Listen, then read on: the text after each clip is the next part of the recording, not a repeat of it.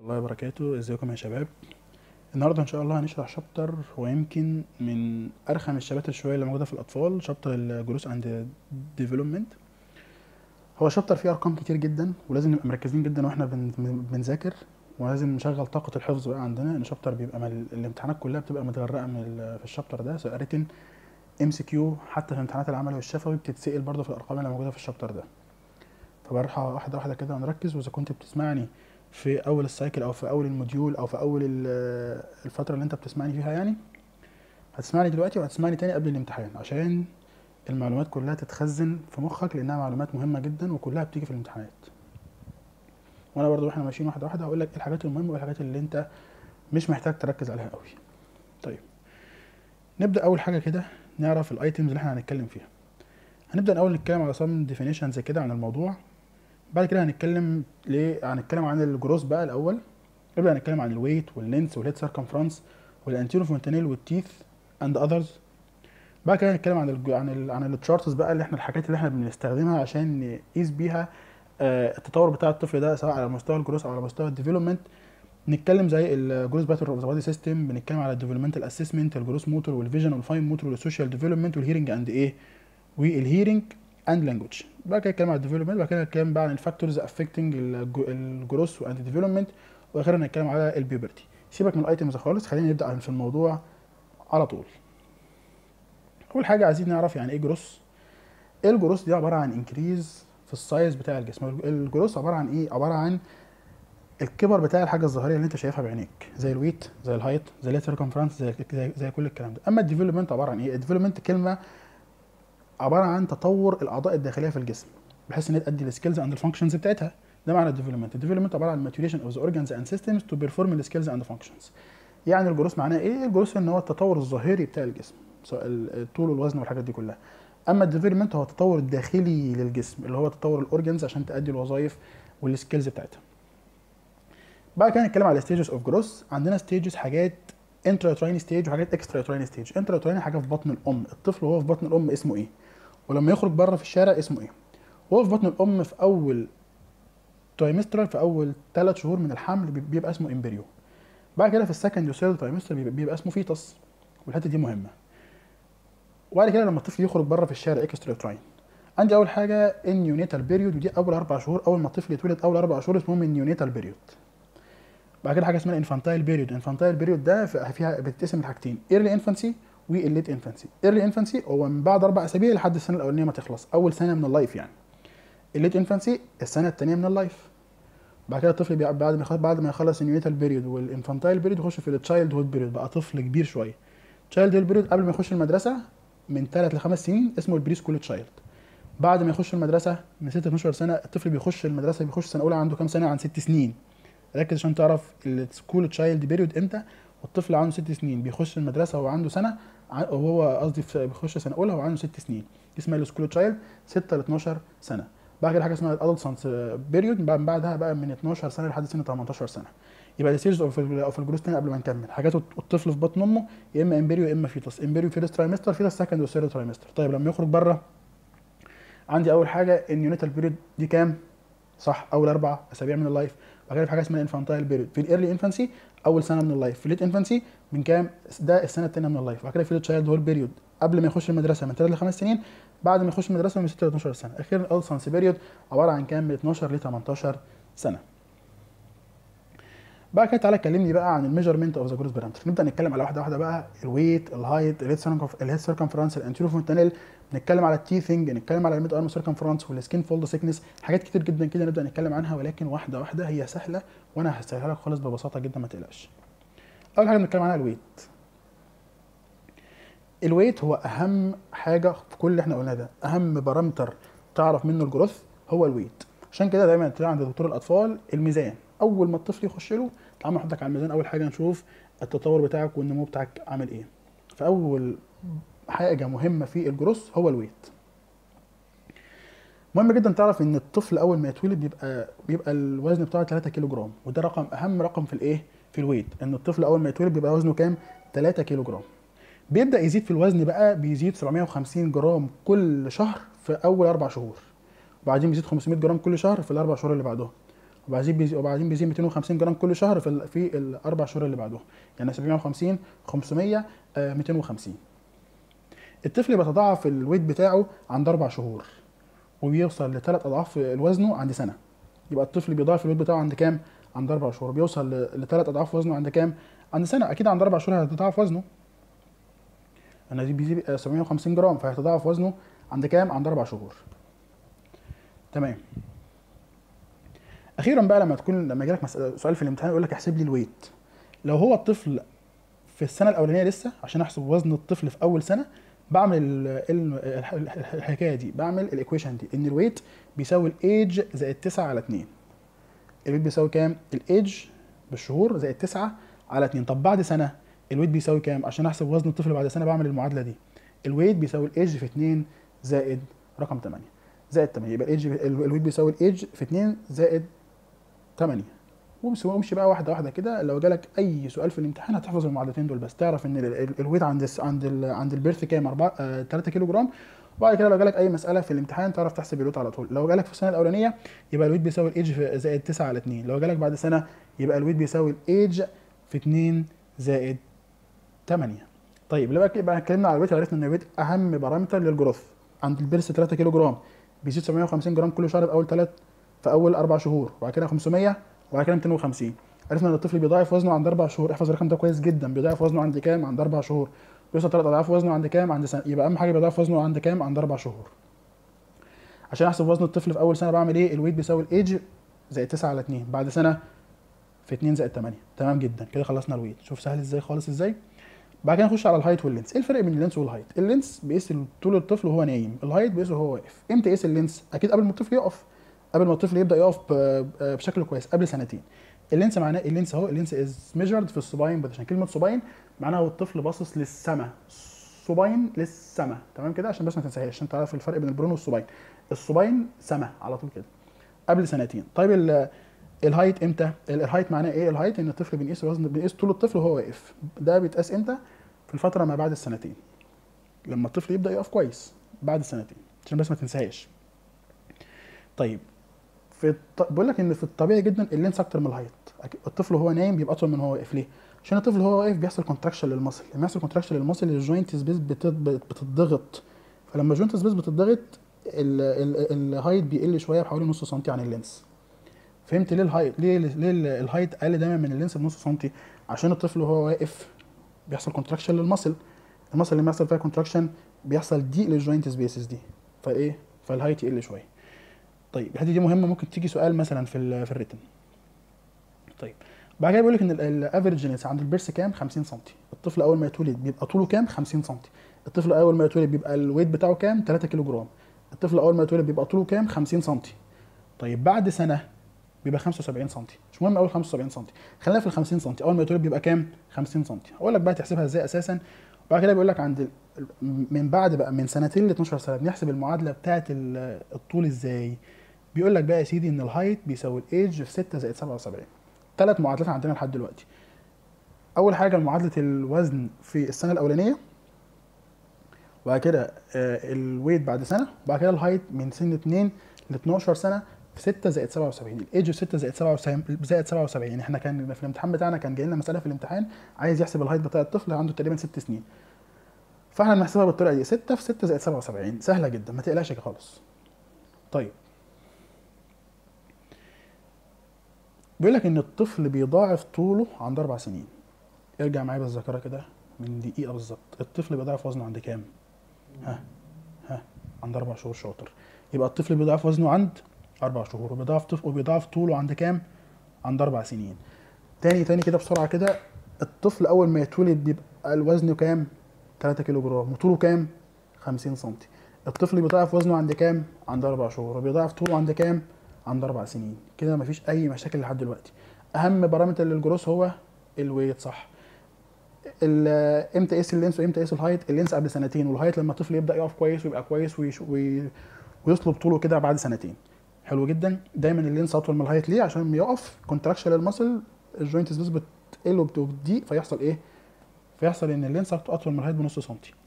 خلاص كده كده إحنا خلصنا الحتة الأولانية الأساسية. تعالى لي بقى بعد كده اخش على ال head circumference ال head circumference ده بجيب المازوره واحطها حوالين الايه حوالين الراس من فوق كده. واشوف ال head circumference ال head circumference عباره عن indirect parameter of the brain growth دي الحاجة اللي بقيس بيها مدى تطور ال brain أو مدى كبر ال brain في الحجم. عند ال birth بيبقى حوالي كام؟ 35 سنتي. إحنا قلنا إيه؟ قلنا إيه؟ قلنا ال weight بيبقى 3 كيلو جرام يعني فيها رقم 3 وال height بيبقى 50 سنتي يعني فيها رقم 5 تعال نحط رقم 3 على رقم 5 يبقى كام؟ 35 سنتي. ركز معايا وما تتوهش وما تسرحش. دلوقتي وإحنا قلنا الويت 3 كيلو جرام عند البرس. الهايت عند البرس 50 سنتي. فيها في رقم 3 وعندي رقم 5 احطهم مع بعض يبقى head circumference يبقى 35 سنتي هو ال head circumference عند ال birth. طيب ال head circumference ده بيزيد 2 سنتي كل شهر في أول 3 شهور. 2 سنتي كل شهر في أول كام؟ في أول 3 شهور. وسنت و3 سنتي كل شهر في ال next 3 شهور ونص سنتي كل شهر في ال next 6 شهور. تمام كده؟ تمام كده. ال head circumference بيزيد 12 سنتي في أول سنة. يعني ال head circumference يبقى ال maximum بتاعه في خلال كام؟ يعني الطفل ال- ال brain بتاعه بيكبر طول الكبر خلال أول سنة بس.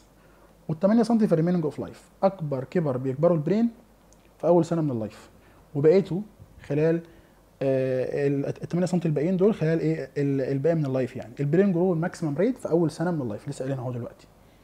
طيب. دلوقتي الحاجة المع- المعلومة المهمة الوحيدة اللي قلت لك عليها إن الهيد سيركمفرنس عند البرس 35 سم والهيد سيركمفرنس بتاع البرين جروث طيب بعد كده نبدأ نتكلم على الأرقام بقى. عند البرس 35 سم خلينا نحطهم كلهم بعد كده نبدأ نتكلم عنهم عند هنحفظ ثلاث أرقام اساسيين الأول. عند البرس 35 سم عند خمس سنين 50 سم 55 سهلة خالص. عند خمس سنين 50 سم عند 15 سنة 55 سم عند البرس 35 سم عند خمس سنين 50 سم عند 15 سنة 55 كام؟ 55 سم بعد كده آه هنتكلم آه عند البرس قلنا 35 سم عن ست شهور هنزود 8 هيبقى كام؟ 43 سم عن سنة هنزود نص ال 8 يبقى 4 يبقى كام؟ يبقى 47 سم عند 3 سنين 48 سم يبقى عند البرس 35 سم ست شهور وسنة وثلاث سنين. 43 47 48 عند البرس 35 سم ست شهور سنة ثلاث سنين. 43 47 48 قلنا عند خمس سنين كام؟ 50 سم يبقى عند 8 سنين 52 سم اللي بعد ال 50 يبقى 52 سم عند 15 سنة 55 سم خلي بالك الأسئلة دي بتيجي في ال MCQ فأنت مش هتتلخبط قوي لأن أنت هتبقى فاهم خلاص فاهم أنت بتتكلم فين. قلنا عند ال birth كام؟ وحفظناها وحفظناها زي وحفظناها صم. عند ال birth 35 سم ست شهور سنة ثلاث سنين. 43 47 48 عند خمس سنين 50 سم عند 8 سنين 52 سم عند 15 سنة 55 سم اتكلمنا على ال head circumference عرفنا اللي هو ال parameter بتاع ال brain growth. ال head circumference ده عند ال birth 35 سم جبناها إزاي؟ ال weight عند ال birth 3 كيلو جرام ال height عند ال birth 50 سم حط الثلاثة على الخمسة يبقى 35 سم حط الثلاثة جنب الخمسة يبقى 35 سم عرفنا إن أقصى إن ال ال ال brain بيكبر ال maximum growth بتاعه خلال السنة الأولانية من ال life.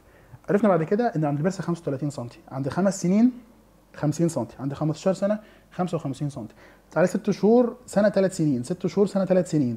43 47 48 بعد كده عرفنا 50 عند عند خمس سنين 50 سم عند 8 سنين 52 سم عند 15 سنة 55 سم استحالة تنساها لو انت سامعها قبل الامتحان direct استحالة هتنساها.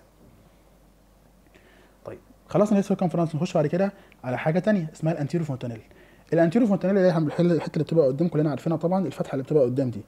ال anterior fontanelle دي أول ما الطفل يتولد بيبقى ثلاثة finger breadths تبقى في طول ثلاث صوابع من إيدك كده تحطهم عليها كده بتبقى ثلاثة finger breadths اللي هي الإيه؟ ال anterior fontanelle بعد كده عند ست شهور بتبقى اتنين finger بس. عند سنة بتبقى 1 finger بس. عند سنة ونص بتقفل.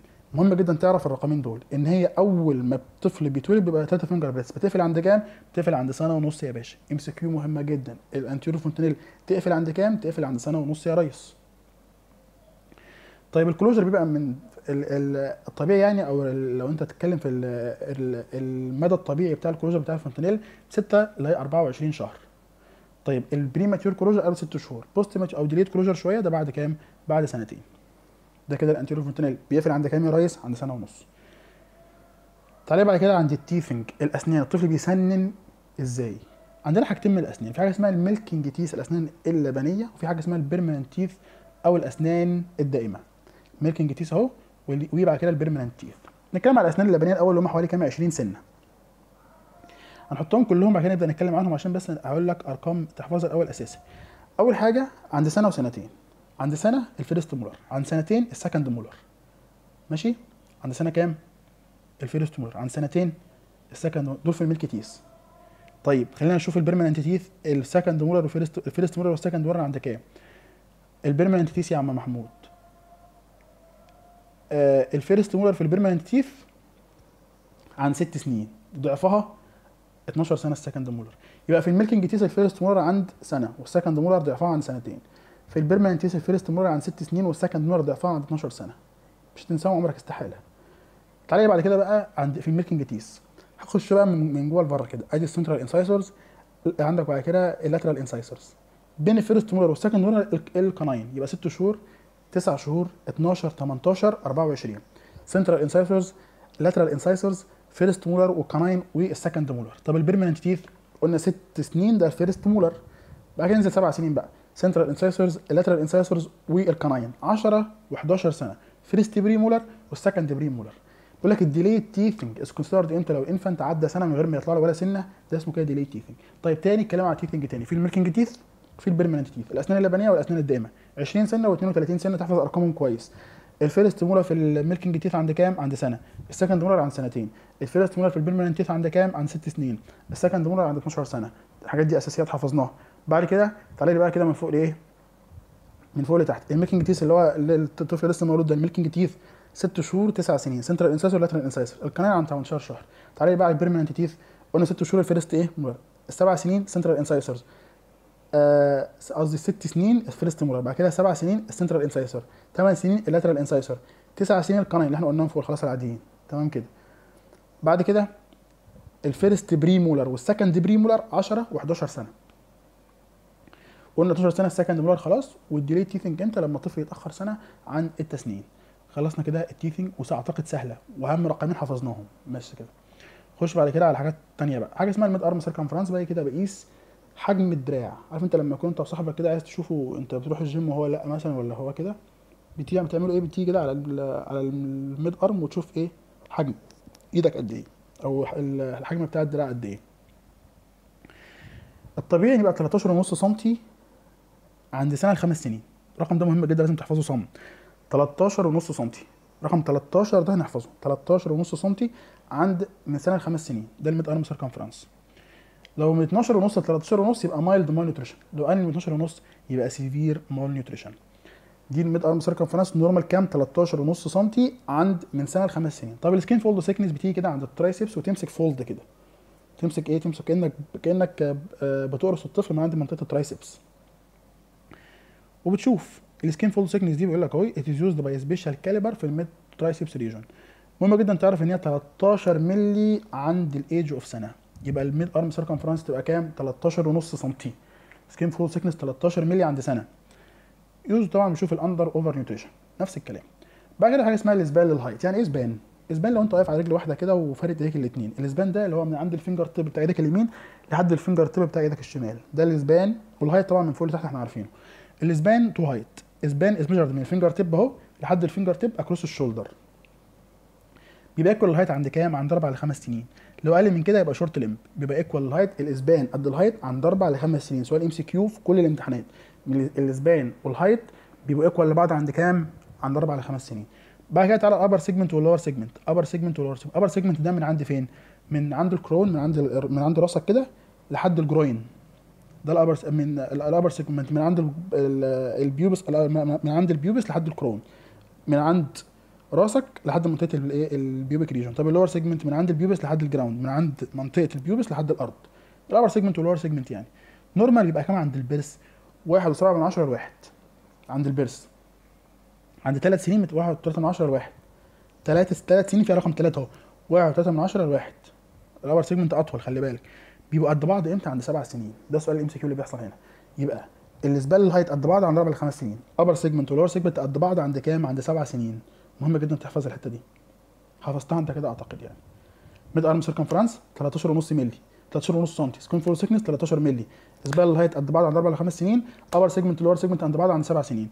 آخر حاجة في الحاجات بتاعت ال growth parameters هي ال bone age ال bone age عشان اعرف ال bone age بعمل إيه. بجيب X-ray وأعملها على على إيد الطفل وأشوف الكاربال بون بشوف بعملها عند الريست طبعا عشان أشوف الكاربال بون النمبر اوف ذا كاربال بون يبقى بقيس البون ايج بتاع الطفل إزاي؟ البون ايج بتاع الطفل عن طريق الاكس راي إزاي؟ عن عن طريق النمبر اوف ذا كاربال بونز بيقول لك إن أول carpal bone بتظهر في أول ست شهور من ال life ال carpal bone الأولية في كام في كام؟ في أول ست شهور من ال life بعد كده بتظهر واحدة بعد كده الثانية في ال second ست شهور. يعني في أول سنة اتنين carpal bones بعد كده 1 carpal bone كل سنة. فهمت كده؟ في أول سنة كاملة 12 شهر الأولانيين في 2 carpal bones واحدة في الست شهور الأولانية والثانيه في ست شهور التانيين. وبعد كده في carpal bone كل كام؟ carpal bone كل سنة بتظهر عند الطفل ده. طيب بيقول لك إن الاوسيفيكيشن سنترز بتاعت اللور اند اوف الفيمر والابر اند اوف التibia ابير عند البرث منطقة الايه الركبة كده. في ossification centers بتظهر عند الكام؟ عند ال birth مش مهم قوي النقطة دي. نعرف إن ال delayed bone age بيحصل في ال hypothyroidism وال hypopituitarism في نقص ال thyroid hormone ونقص ال growth hormone. دي دي دي هرمونات النمو أساسا طيب لو قال لك كده تعرف ال carpal تعرف ال bone age إزاي؟ بشوف عدد ال carpal bone وبطرح منها واحد. ال carpal bone ناقص واحد. في صورة هنا جايبها لك كده. في عندك اتنين إيه؟ بيقول لك إن ال X-ray ده شايف 1 year old infant ليه 1 year عشان في two carpal bones 2 ناقص 1 1 يبقى ده عمره كام؟ عمره واحد. عمره سنة يعني. كده إحنا حتى الآن خلصنا ال growth parameters تعالى كده من غير اقفل الكتاب واقفل ال- ال data وانت سمع حاول تسمع معايا كده. قلنا أول حاجة ال weight هو ال most reliable parameter لل growth عند ال birth كام؟ 3 كيلو جرام بتضاعف عند كام؟ عند أربع شهور. مش تنساها عمرك.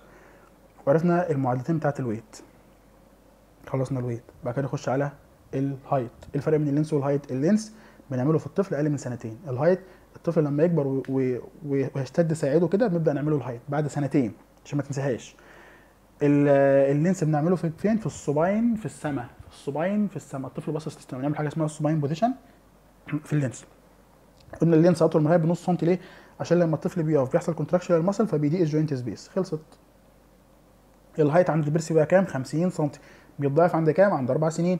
وعرفنا المعادلة المعادلات مهمة جدا تحفظها عشان بتيجي في المسائل. قلنا ال weight 3 كيلو جرام ال height 50 سم ال weight بيضاعف عند أربع شهور ال height بيضاعف عند أربع سنين. أسئلة ال MCQ كلها أنت عرفتها دلوقتي. تعال نخش على ال head circumference ده بتاع ال brain growth عند ال birth 35 سم عرفنا الثلاثه والخمسة نحطهم على بعض يبقى 35 سم طيب عند خمس سنين 50 سم عند 15 سنة 55 سم طيب قلنا 43 47 48 ست شهور سنة ثلاث سنين. عرفنا بعد كده آه 8 سنين 52 سم مهم جدا تعرف إن ال maximum growth بتاع ال brain في أول سنه بس من ال life بعد كده ال remaining life بقى بتبقى حوالي 8 سم بس في بقية الإيه في بقية الحياة يعني. بعد كده اتكلمنا على ال anterior fontanelle قلنا ال anterior fontanelle أثناء ال birth بيبقى 3 finger breadths ال anterior fontanelle بيقفل عند سنة ونص. خلصت. خش بقى كده على ال teething قلنا ال milking teeth 20 سنة وال permanent teeth 32 سنة. قلنا ال first molar بيظهر عند كام؟ صح سنة. وال second molar عند سنتين. في ال permanent teeth ال first molar عند برافو ست سنين. وفي ال second molar bravo عند 12 سنة. بعد كده كلمة سنترال بعد كده بقى central incisor وال lateral incisor والكمان في ال milking teeth بعد كده نزلنا تحت برضه central incisor lateral incisors وكمان first premolar عند 10 سنين second premolar عند كام؟ عند 11 سنة دي الزيادة يعني. انت تقول عند الطفل ده إن هو اتأخر تسنينه لما اتأخر سنة من غير ولا سنة. سنة من غير ولا سنة، صدق مظبوط ينفع قافية أهي. خش بعد كده على حاجة اسمها ال mid arm circumference. mid arm circumference يبقى هي اللي هي بنشوف إيه؟ بنشوف حجم ال forearm اللي هو حجم ال mid arm بيشوف كام؟ بيبقى حوالي 13 ونص سم برافو. 12 ونص 13 ونص يبقى ده mild malnutrition أقل من 12 ونص يبقى severe malnutrition ال skin fold thickness عرفنا إن هي كام؟ تلات- 13 مللي ركز 13 مللي skin fold thickness عرفنا بعد كده ال span وال height بيبقى قد بعض عند أربع لخمس سنين. عرفنا بعد كده ال upper segment وال lower segment بيبقى قد بعض عند سبع سنين.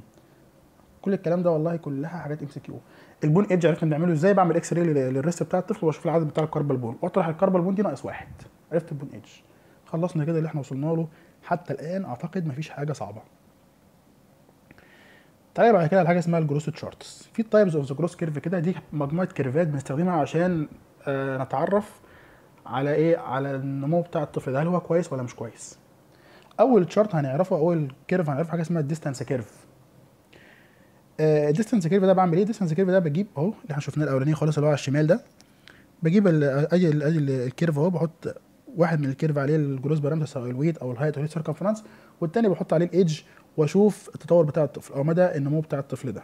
ده اسمه ال distance curve وده مش مهم قوي المهم بقى حاجة اسمها ال velocity curve ال velocity curve ال velocity curve ده بيتكون من ثلاثة ده ده إحنا بنحط في واحدة التطور بتاع الطفل كل سنة والناحية الثانية بحط الايدج بيديني ثلاث charts كده أو ثلاث علامات يعني أو ثلاثة spurts أول حاجة اسمها ال infantile growth spurt وده اللي هعلمك عليه دلوقتي بالإيه؟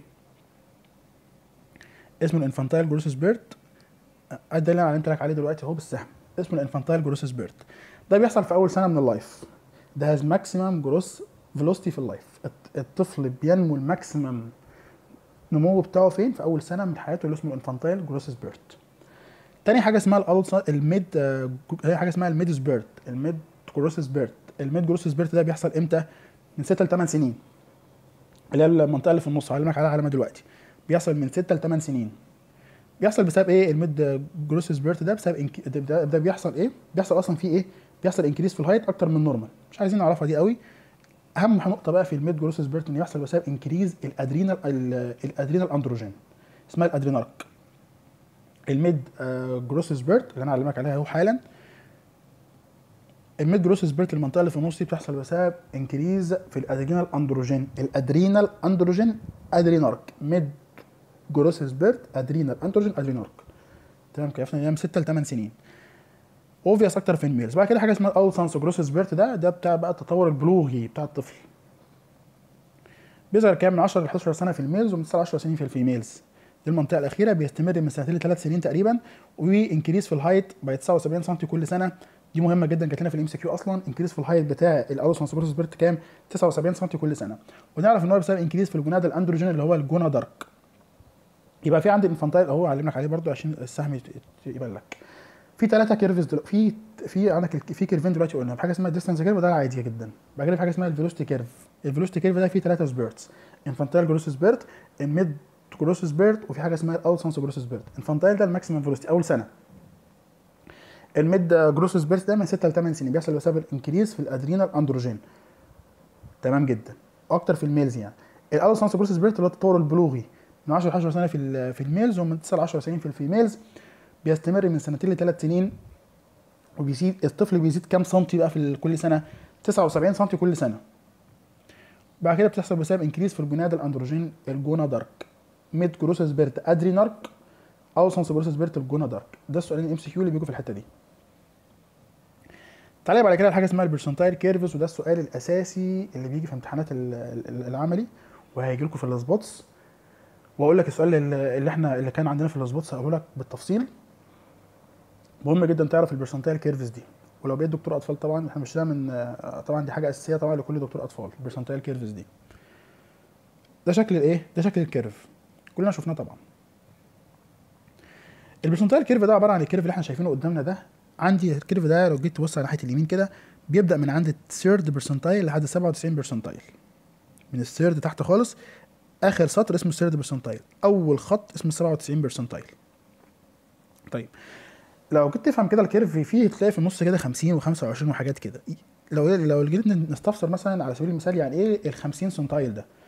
ال 50 centile ده معناها إن 50% من الأطفال indicate إيه؟ 50% of ال normal children أقل these value و50% of ال normal فوق ال value دي.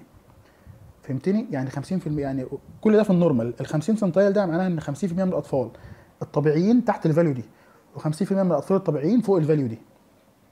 أكيد فهمتني. عشان تفهمني أكتر تعالى نفهم يعني إيه ال 25 percentile معناها إن 25% من الأطفال الطبيعيين similar أو أقل منه. وال 75% heavier أتخن من الطفل ده. 75% 25% في ال normal. كل ده أنه في ال normal برضه 25 لسه في ال normal. أنا 25% في الأطفال. قده في ال في ال في الأطفال ده similar or less than him in weight و75% أتقل منه. إحنا إحنا بنعتبر ال centile ده هو ده الطفل. يعني 25 percentile ده هو طفل في الخمسة عند ال 25 percentile معناه إن 25% من الأطفال زي الطفل ده والأطفال في الأطفال الطبيعيين زي الطفل ده وأقل منه. و25% من الأطفال الطبيعيين 75% من الأطفال الطبيعيين أتقل من الطفل ده. عشان تفهمني أكتر تعالى نكمل. طيب بيقول لك إن لقيت لو لقيت بقى ال curve بتاع الطفل اللي أنت بتحاول تقيس له الجروس بتاعه عند ال 25 أو ال 10 أو الثلاثه ده اسمه ده اسمه إيه؟ ال low normal هو في الطبيعي ولكن ال low قرب يخش على ال abnormal اسمه ال low normal 25 10 3 اسمهم ال low normal طيب لقيته عند ال 75 90 أو 97 centile اسمهم ال high normal أقل من 3 ده abnormal ده سؤال MCQ مهم. أكتر من 97 ده برضه abnormal high ده abnormal low abnormal high يبقى ال percentile curve تعرف إن هم من 97 لحد 3 فوق ال 97 abnormal high أقل من 3 abnormal low واللي في النص ده كله طبيعي. كده أنت فهمتني بشكل عام. الكلام اللي جوه ده ملوش أي لازمة أو مش مهم قوي إنك تفهمه دلوقتي بس المهم تعرف إن 25 و10 3 دول ال low normal. 75 90 و97 دول high normal ده اسمه ال percentile curve أهمية بقى ال percentile curve إيه أهمية ال growth curves كلهم إيه وده سؤال بيجي في كل الامتحانات تقريبا؟ ال written كل امتحانات ال written جالنا السؤال ده. إحنا جالنا السؤال ده في ال spots وفي ال في ال في الفاينل البريفنتيف والدياجنوستيك والثيرابيوتيك نبدأ بال preventive الأول. أول حاجة ال preventive معناها إيه؟ لما تعرف لما تبص على ال curve بتاع الطفل أول ما هتلاحظ حاجة غريبة هتعرف إن الطفل عنده disease تبدأ تدور على سبب ال disease ده إيه؟ بيقول لك إيه؟ ال periodic assessment of the growth parameter of normal child help to detect abnormal growth deviation early تقدر تتعرف على أي أي abnormality في الجروس بتاع الطفل بدري وبالتالي تقدر تتعامل معاها إيه؟ بشكل كويس. دي ال preventive تاني حاجة اسمها ال diagnostic بتشخص من خلال الأمراض. إزاي؟ بيقول لك إن ال growth curve help to help to diagnose ال growth abnormalities أول حاجة ال weight لو في أي مشكلة في ال weight مثلا زي ال malnutrition زي ال marasmus وال kwash overweight وال underweight وال obesity والكلام ده كله بنشخصها عن طريق الكيرفات دي. ببص على ال curve بتاع ال height لو لقيت في أي مشكلة ممكن تبقى short stature أو tall stature ببص على ال curve بتاع ال head circumference ممكن تبقى microcephaly أو ال macrocephaly كل ده بشخصها عن طريق الكيرفات دي خصوصا ال percentile curves أخيرا ال prognostic بقى ببدأ أشوف من خلال ال curve ده لو الطفل مثلا عنده مرض وأنا بديله treatment ببدأ أشوف من خلال ال curve ده هل ال treatment بتاعي ده فعال ولا لأ. ال prognosis of the treatment by hormones in case of short stature في حالة ال short stature بعالجها عن طريق الهرمونات سواء مثلا الإيه ال thyroid أو أو ال growth hormone أو الكلام ده كله ببدأ أشوف هل ال treatment بتاعي ده فعال ولا لأ عن طريق الكيرفات دي. follow up ال dietetic treatment for malnutrition لو واحد مثلا عنده مشكلة عنده مثلا الكواشيكور أو ال marasmus وال curve بتاعه مثلا بتاع ال weight بتاعه تحت ال third centile. وأنا بدأت أديله treatment بدأ ال curve بتاعه يعلى يبقى فوق ال third centile. معنى كده إن ال treatment بتاعي فعال وأنا حققت الايه الهدف بتاع ال growth curves دي. تالت حاجة بشوف ال effect بتاع ال medication of the acute or chronic illness by catch up growth نيجي بقى لحته مهمه جدا واللي جات لنا في الامتحان بتاع ال spots ال catch up growth دي. يعني إيه catch up growth أصلا؟ ال catch up growth دي من اسمها معناها؟ التحاق. التحاق؟ يعني الطفل كان ماشي تحت ال normal تحت ال third centile. بدأت اديله علاج بدأت اديله أكل بدأت اديله treatment عملت له كل اللازم بدأ الطفل يعلى عن ال third centile ويخش في ال zone ال normal بتاعت الأطفال اللي هو من ال third لحد 97 مع كده إن الطفل دخل إيه؟ التحق بالركب بتاعه التحق بالناس اللي زيه في ال normal يعني. دي اسمها ال catch up growth. يعني إيه catch up growth بقى يا عم محمود؟ هي accelerated أو accelerated ال growth. following period of growth arrest بسبب infection أو malnutrition enables the child to, to climb back to his catch up growth تيجي في دماغك؟ كلمة التحق. طفل مش طبيعي التحق بالأطفال الطبيعيين اللي زيه. كده أنت فهمتني. يعني إيه value of ال growth curves تاني preventive لل diseases كلها. diagnostic لل diseases برضه عن طريق إن هو سواء سواء ال nutrition أو سواء في ال weight أو ال height أو ال circumference أو أو أو كل الكلام ده. prognostic لل treatment بتاعي. وعرفنا عليه catch up growth وأدي الصورة بتاعت ال catch up growth. أهو كان تحت أهو فجأة رجع تاني شفت الخط الأسود قوي الغامق قوي ده. كان الطفل تحت وفجأة رجع تاني للإيه؟ للطبيعي بتاعه. دي اسمه ال values بتاعت ال growth curves كده خلصنا الكيرفات. عرفنا أو خلصنا الكيرفات الأساسية. عرفنا ال distance curve اللي هو العادي ال velocity curve الثلاثه spurt ال mid growth spurt أول حاجة ال infantile growth spurt اللي هو ال maximum velocity life. ال mid growth spurt عرفنا اللي هو بسبب ال adrenal androgen وال adrenarche بعد كده ال adolescence growth spurt ال adolescence يعني gonads. يعني بدأ الطفل يبلغ عن طريق عن طريق ال gonads الأعضاء التناسلية بحاجة اسمها ال gonadal androgen اللي هو ال gonadarche بيزيد كام؟ 79 سم في السنة كل سنة. عرفنا بعد كده حاجة اسمها ال percentile curve من ال curve من 97 لحد third percentile. وكل اللي بينهم ده normal. فوق ال 97 abnormal high تحت 97 abnormal low ده الأساسي. ال values بتاعتها إيه؟ بريفنتيف للديزيزز دايجنوستيك للويت والهايت والهيد سيركمفرنس بروجنوستيك للتريتمنت وتبدأ تتكلم عنهم وتحاول تكتب تحفظ الأساسي الأساسي وتكتب اللي أنت الكلام اللي تحته ده من دماغك يعني. سهل. عرفنا catch up growth اللي بتيجي في في امتحانات ال spots كان جاي لنا curve كده وكان ال curve كان كان الطفل abnormal كان الطفل تحت ال third centile وفجأة خد ال treatment ورجع تاني للإيه؟ لل range ال normal تاني. دي اسمها catch كان اسم كان السؤال إيه بقى؟ اسم اسم الظاهرة دي أو ال phenomena دي إيه؟ catch up growth وكان عايز التعريف بتاعها. خلصنا الحتة دي. آخر حاجة بقى كان سؤال امتحان جالنا برضه امتحان ال written بتاع ال final بقى وكان عايز ال كان كان عايز الإجابة وكان عايز الرسمة كمان. ال growth pattern of the body systems أربعة. ال growth pattern of the body system شوف الصورة دي. هم كانوا هم كانوا عايزين الصورة دي آه، تتحط مع الإيه؟ مع الكتابه اللي إحنا هنكتبها أول حاجة في عندي ال growth pattern of the system معناها إيه؟ معناها إن كل system بيكبر إزاي في الجسم يعني.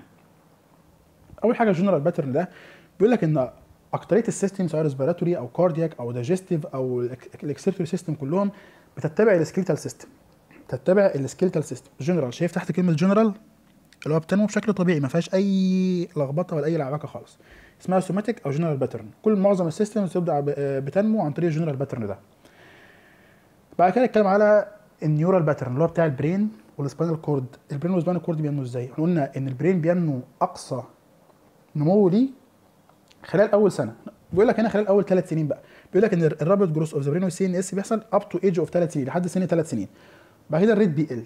عن سبع سنين بيبقى بلاتو مفيش بعد سبع سنين أي growth لل brain خالص. بيقف خالص عند سبع سنين بيبقى plateau و further ال acc... no further ال acceleration of the neural growth مهم جدا تحفظ دي MCQ عن سبع سنين ال neural pattern خلاص كده بيقف. عند سبع سنين. كده ال lymphoid pattern ده. ال lymphoid pattern ده بيوصل لل maximum growth عند 10 ل 12 سنة. عند 10 ل 12 سنة ال lymphoid pattern أخيرا ال genital pattern بقى ال reproductive system قلنا ال genital معناها ال gonads معناها إن الطفل يبدأ يبلغ يبقى يبدأ عند كام؟ من 10 ل 12 سنة. بيوصل لل maximum عن- عند كام؟ 20 لحد 21 سنة. يبقى تاني جنرال حفظهم الأول الأربعة؟ general pattern ده أول حاجة اللي هو بتاع بتاع اكتريت ال systems بعد كده تاني حاجة بعد كده تاني حاجة بتاع ال brain وال CNS ال neural pattern ده بي طبعا بيزيد في الجروس بتاعه لحد سن ثلاث سنين. عن سبع سنين بيبقى بلاتو خلاص يقف بقى. عند سبع سنين.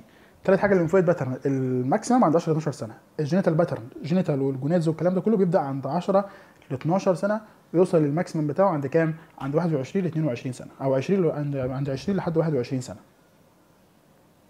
عند كام؟ من 20 لحد 21 سنة. كده إحنا خلصنا حتى الآن. ده كده كل ال growth. قبل ما نخش على ال development بقى تعالى أما راجع لك بسرعة كده اللي إحنا قلناه. أول حاجة اتكلمنا عن تعريف يعني إيه ال growth يعني إيه ال development ال growth ده اللي هو التطور الظاهري أو النمو الظاهري بتاع الطفل سواء ال- ال- ال weight وال height والكلام ده كله. وعرفنا ال development عرفنا ال development اللي هو النمو الداخلي بتاع الطفل. بعد كده اتكلمنا على شوية حاجات حاجات يعني إيه الطفل intrauterine يعني إيه الطفل extrauterine اتكلمنا على ال embryo وال fetus والحاجات دي كلها. دخلنا على المهم بعد كده أول حاجة اتكلمنا عن ال weight وعرفنا إن ال- الطفل عند ال birth يبقى حوالي كام؟ 3 كيلو جرام بيضاعف الوزن بتاعه عند حوالي كام؟ عند أربع شهور. وعرفنا ان ال weight ده أهم parameter لكل ال parameters بتاعت ال growth بعد كده دخلنا على ال height عرفنا إن ال height غير ال length. ال length ده الطفل وهو نايم في ال supine position قبل قبل سنتين وال height بعد سنتين. وعرفنا إن ال length دايما أطول من ال height بنص سنتي عشان ال contraction بتاع ال muscles والطفل واقف. بعد كده ال- ال- ال height عند الطفل بيبقى كام؟ برافو 50 سم ويضاعف عند أربع سنين. كده بعد كده على ال head circumference بتاع ال brain growth ده عند ال birth بيبقى حوالي 35 سم وعرفنا الأرقام الباقية هنتكلم فيها إزاي. ال anterior fontanelle بيبدأ كام؟ ال anterior fontanelle ده بيبقى 3 finger breadths عند ال birth وبيضاعف وقصدي بيتقفل خالص عند سنة ونص. عرفنا بعد كده ال teeth milky teeth حوالي 20 سنة وال permanent teeth حوالي 32 سنة ال first molar عند سنة وال second عند سنتين ال first molar عند 6 سنين وال second عند 12 سنة والباقي سهل. بعد كده عرفنا ال mid arm circumference وال skin fold thickness ال mid arm circumference يبقى حوالي 13 ونص سم عند أول خمس سنين skin fold thickness حوالي 13 مللي عند السنة الأولانية. إمتى ال span بيبقى قد ال height عند 4 ل 5 سنين. إمتى ال upper segment قد ال lower segment عند 7 سنين. ال bone age بقيسها عن طريق ال X-ray carpal bones بشوفها زي جوي ال bone age carpal bone ناقص واحد بعرف على طول ال bone age على طول. تمام جدا. بعد كده دخلنا نتكلم على الكيرفات. عرفنا أول حاجة الايه الكيرفات. عرفنا أول curve اللي هو ال distance curve العادي جدا. ال velocity curve عرفنا أول حاجة ال infantile growth spurt وال mid growth spurt وال adolescence growth spurt infantile ال maximum velocity بس خلال أول سنة. ال mid growth spurt ده بيحصل بسبب increase ال adrenal androgen اللي هو ال adrenarche. ال adolescence growth spurt بيحصل بسبب increase ال gonadal androgen اللي هو ال gonadarche كلام سليم جدا. بعد كده اتكلمنا على ال percentile curve اللي هو من 97 ل 3 وكل في النص ده ال normal بتاعنا. ال values إيه preventive diagnostic و prognostic preventive diagnostic و prognostic اكتب دول الأول وبعدين اكتب تحتهم اللي انت عايزه. preventive diagnostic و prognostic في امتحان ال- ال- spots كان جاي لنا السؤال ده وإحنا كتبناهم بشكل إيه كتبناهم بشكل عناوين كده بس وخدنا الدرجة ما تقلقوش يعني. بس طبعا لو في ال written وانت معاك وقت اكتب كل الكلام اللي تحتهم ده حتى لو باسلوبك عرفنا بعد كده حاجة اسمها ال catch up growth ال catch up growth ده عباره عن إيه طفل كان تحت ال third percentile وبعد كده اشتغل على نفسه أو الدكتور اشتغل عليه يعني وبدا يطلع فوق ال third percentile ويلتحق بالاطفال ال normal اللي زيه أخيرا عرفنا ال general pattern ده وده ال pattern بتاع ال growth وده اللي جالنا في الامتحان إحنا بقى ال rhythm بتاعنا آه جالنا ال general pattern ان هم اربعه pattern أول حاجة الجنرال بتاع كل ال systems ده طبيعي جدا. بعد كده في حاجة اسمها ال neural pattern ده اللي هو الطفل بيبدأ ينمو ال brain بتاعه آه بيزيد جدا عند لحد سن ثلاث سنين. بعد كده عند سن سبع سنين بيقف بقى. بعد كده ال lymphoid pattern ده ال maximum عند 10 ل 12 سنة. وبعد كده أخيرا خلص دخلنا حاجة مهمة جدا اسمها ال genital pattern بيبدأ عند 10 ل 12 سنة وبيبدا ويوصل maximum عند 20 ل 21 سنة. كده يبقى الحمد لله خلصنا. ال growth وإن شاء الله هنخش على ال development دلوقتي.